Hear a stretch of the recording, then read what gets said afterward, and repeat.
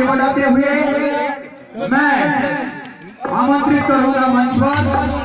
श्री संदीप कुमार जनाब सुनील दवाई घाटी के जाने वाले गायक, मैं आपसे निवेदन करूँगा कि आप हमारे दर्शकों के उत्साहवर्धन के लिए